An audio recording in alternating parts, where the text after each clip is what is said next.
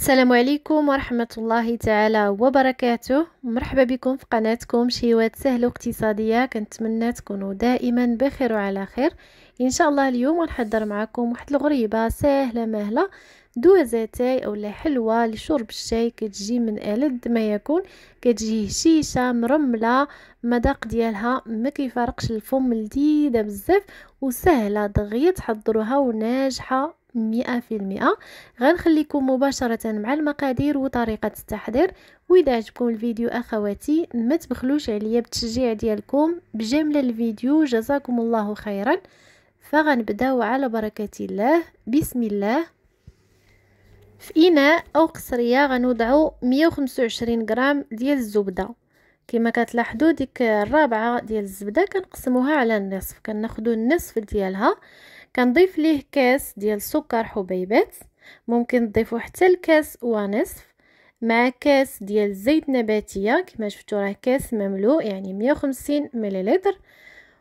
وغنضيف رشة صغيرة من الملح مع ساشي ديال سكر منسم بالفانيلا. غنخدم هاد المكونات جيدا حتى كينسجموا مع بعض. ضروري تكون الزبدة بحرارة المطبخ باش تسهل عليكم في الخدمة. يعني خرجوها من الثلاجه قبل باش هكا تكون رطبه وتسهل عليكم. وممكن كذلك تستعملوا الزبدة ديال العلبة هي كتكون رطبه أو لا تستعملوا أي نوع من الزبدة عندكم. يعني تقدروا تستعملوا أي نوع عندكم وتقدروا تخدموا هذا الخليط في الهاشوار أو بالميكسور. يعني باش يتخدم لكم بسرعة إلا ما بغيتوش تخدموا هكا باليد. باليد شوية كياخد شوية د الوقت. المهم نعطيوه وقته ونخدموه مزيان مزيان. حتى كتنسجم لينا ديك الزيت مع الزبدة وكيذوبوا لينا حبيبات السكر. كيولي عندنا حتى اللون ديالو كيولي أبيض كما كتلاحظوا معايا بحال شي كريمة.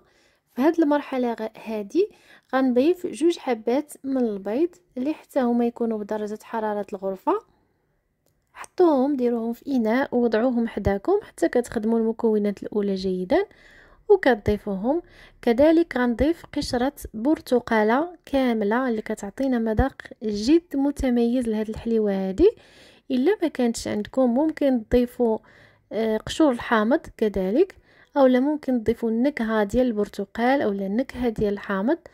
آه، ولكن من الأحسن قشور البرتقال هكا طبيعي كيعطيو مذاق جد متميز كينسموا لينا هاد الحلوة هادي. كنكملو كنخلطو مزيان مزيان حتى كينسجم لينا داك الخليط مع البيض. ضروري نخلطو هاد المكونات الأولى جيدا باش كتنجح لينا الحلوة ديالنا. الآن غنضيف كاس ديال الكوك اولا جوز الهند. كذلك غنخلط مزيان ومن بعد غنبدا في إضافة الدقيق. بالنسبة للدقيق يكون نوعية جيدة من الأحسن. كيكون مكتوب فيه خاص بالحلويات وضروري ما تغربلوه من قبل. هنا غنعبر معكم بالكيسان هذا الكاس الأول. دائما الكاس كنعمرو بالملعقة كيهز 100 100 غرام. غنضيف الكاس الثاني وأنا كنجمع في العجينة ديالي. كذلك غنضيف جوج أكياس من خميرة الحلويات. المجموع ديالهم هو 16 غرام.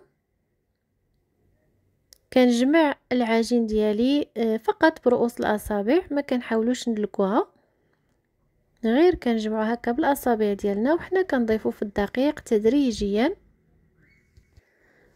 وهذا الكأس الثالث.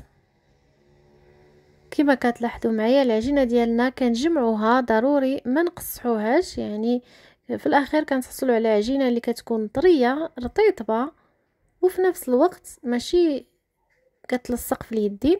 هذا الكأس الرابع كما كتلاحظوا معايا اولا 400 غرام. وهنايا وصلت الكأس الخامس. كنضيفوه تدريجيا ما كنضيفوهش دفعة واحدة. غنحاول نجمع العجين اللي ملصقه ليا كاع في الأطراف ديال القصرية. وكذلك غنزول العجين اللي لاصقة ليا في اليد ديالي باش نعرف القوام الصحيح ديال العجين. هنايا بان ليا بلي باقي خاصها واحد شوية ديال الدقيق يعني الكأس السادس غنضيف النصف ديالو فقط يعني الكمية المس المز... اللي استعملت في هذه العجينة هذه هي خمسة الكيسان ونصف. تقدروا تستعملوا نفس الكمية تقدروا تكملوا حتى لستة ديال الكؤوس يعني ما بين هذا المقدار هذا ما بين خمسة الكيسان ونصف حتى لستة الكيسان. خمسمية وخمسين غرام حتى لستمية غرام ديال الدقيق. في الأخير لازم تحصلوا على عجينة بهذا القوام هذا. كما كتلاحظوا راه رطبه طرية كنشكلوها بكل سهولة ما كتفرتتش معانا. وفي نفس الوقت راه ما كتلتصقش لا في اليدين لا في الإناء. مباشرة غنبدأ نشكل فيها. كنوضع اللاطه ديال الفرن فرشت ليها ورق الزبدة ممكن تدهنوها غير بالزيت. والعجينة ديالي كنغطيها بمنديل هكا باش ما تنشفش ليا. والفرن كذلك كنسخن عليه في هذه المرحلة هذه كنشعل عليه آه، من الأسفل باش يسخن مزيان. وكنبدا نشكل في الحلوه ديالي على شكل كويرات.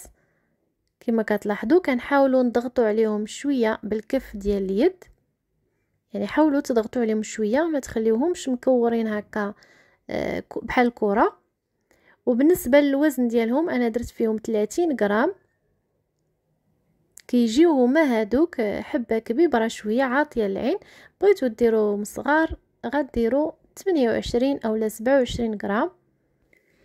من بعد ما كملت الحلوة ديالي كاملة هنايا عندي بيضة.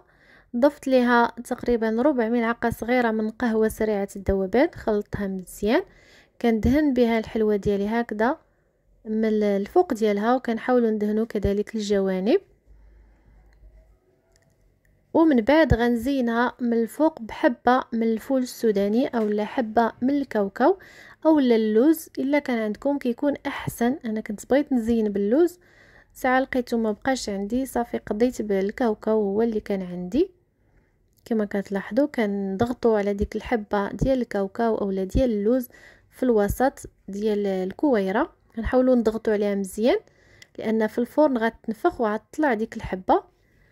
الآن غندخل لاطا ديالي الفرن اللي كيكون سخون مزيان من قبل. هو شاعل غير من الأسفل ولكن غنوضع اللاطا لتحت باش العافية تجيها على الوجه ديالها.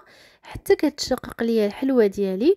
عاد كنطلعها للرف الفوقاني باش كطيب من التحت ودائما على نار اللي تكون مهيلة بزاف باش تجينا الحلوة هشيشة ومقرمشة وكذلك ملي كطيب من التحت كنعاود نشعل عليها من الفوق باش كتحمر وتاخد لون ذهبي محمر وزوين وكيكون هذا هو الشكل النهائي ديال الحلوة ديالي. كتجي صراحة لذيذة بزاف منسمه بقشور البرتقال مرملة بداك الكوك. صراحة لذيذة بزاف كتستحق التجربة ديالكم أخواتي. وراها اقتصادية بدون تعقيدات وبدون مكونات كثيره كتعطي ما شاء الله كمية وفيرة. كتستحق التجربة. كنتمنىكم تجربوها إن شاء الله. وتردوا عليا في التعليق. قولوا لي كيفاش جاتكم.